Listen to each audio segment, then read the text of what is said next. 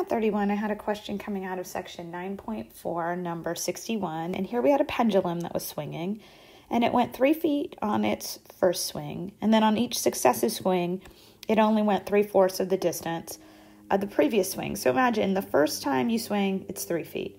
And then the next time you swing, it's three fourths of that.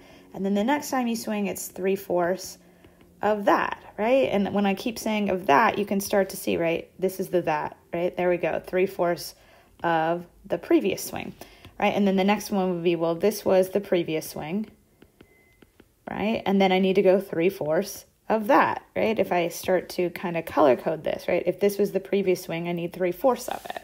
And that's where that three fourths is coming from. And you can almost start to feel out the geometric series, right? Because this would be 3 times 3 fourths to the n minus 1, right? If we start here at n equaling 1, first swing, second swing, third swing, fourth swing. And if I want to think about the total distance that it's going, all right, I'm going to I'm going to do that infinitely, right? I mean, technically if you're thinking about that pendulum, it would eventually stop, but we want to see how far it traveled in total? Well, if I have a geometric series, I can use that formula for the, or at least, let me say, oops, excuse me, if I have an infinite geometric series, we do a1 over 1 minus r.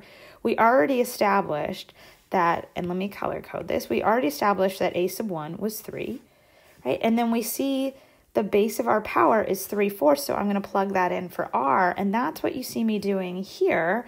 And when I plug that in, I get that I, my, my pendulum swing 12 feet.